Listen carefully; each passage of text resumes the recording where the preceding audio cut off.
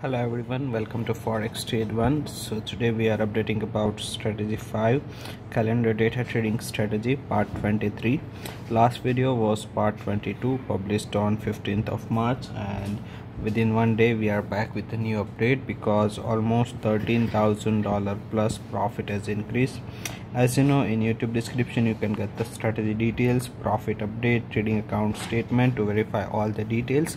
So make sure you check the description.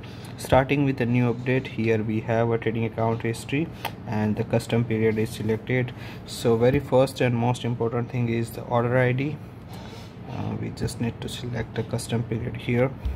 So the all history will be available. Yes and very first and most important thing is the order id that you can verify with the trading account statement that this is the same account consistently we are updating. The total profit is three hundred and four thousand dollars.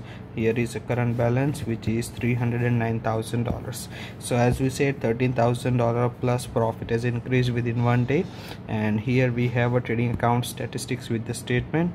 Here is a graph constantly it is growing profit factor is 1.55 total number of trades are 929 expected payoff is 327 average profit and loss is 1115 and 3489 which means the risk reward ratio is 1 is to 0.32 and the break even point for the strategy is 75 percentage. Comparing with the current account accuracy which is 82 percentage we can say we are almost up by 7% than the requirement.